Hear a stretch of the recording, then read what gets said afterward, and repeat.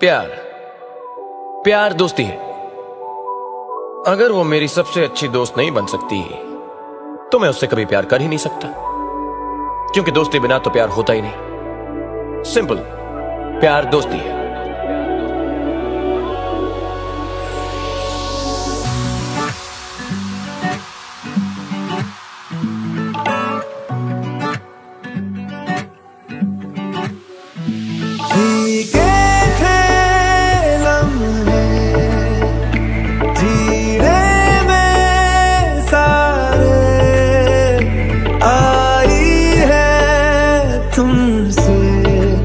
I'm giving